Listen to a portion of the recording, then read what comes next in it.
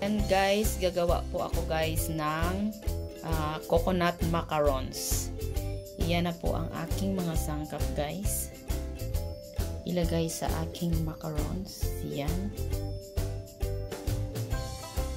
Ilagay ko na po ang aking flour dito guys. Ang all-purpose. All purpose. I-mix natin sa ano sa ating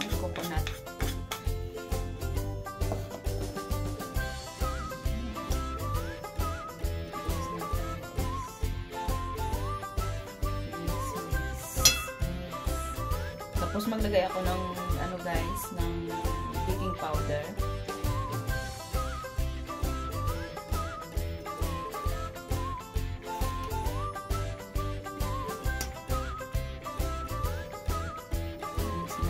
Tapos maglagay ako guys ng salt.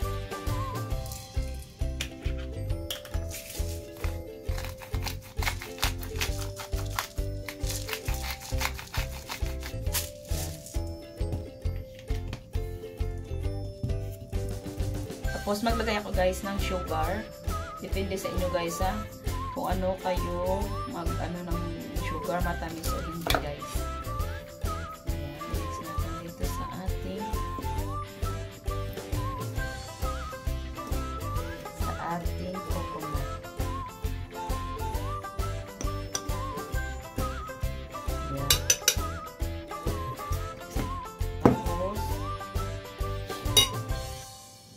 Yan na guys, gin-open ko ang aking ano, condensed milk.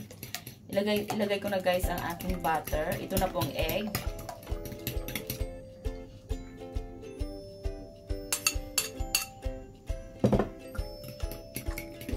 Ayan. Lagyan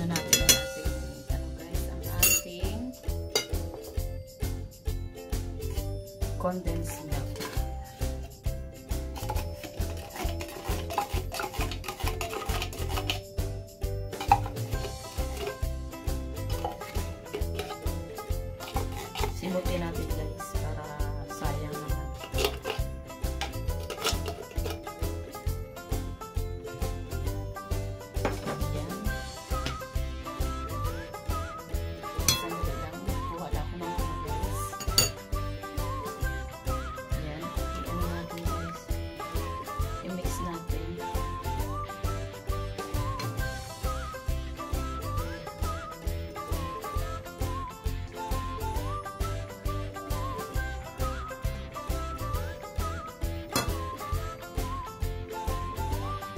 Tapos maglagay ako guys ng vanilya.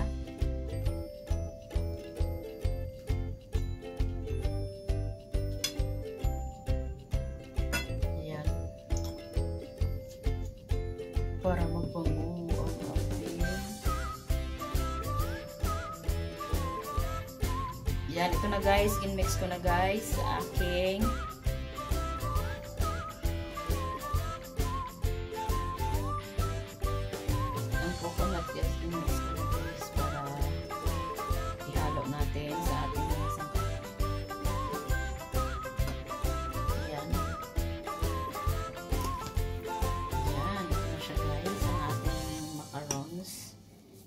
Ihalo lang natin para mag-ano ang sangkap guys. Ang ating milk.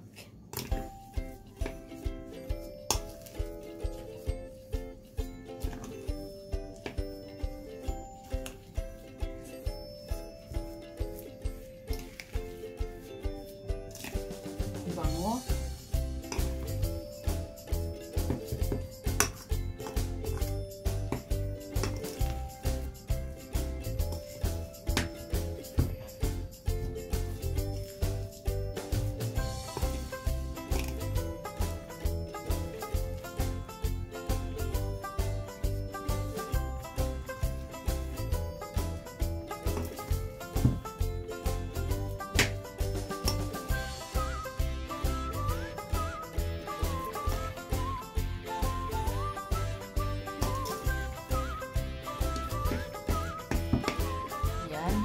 Ilagay, ilagay na natin sa ating mga ano, mortar. Yan guys, ilagay na natin sa ating ano guys. Ang gamit ko guys ay malaki gali ang ano guys, ang aking bali ano na lang ang yak cupcake guys ang gingamit ko. Wala ko ano. Okay lang yun. Huwag na tayong maghanap.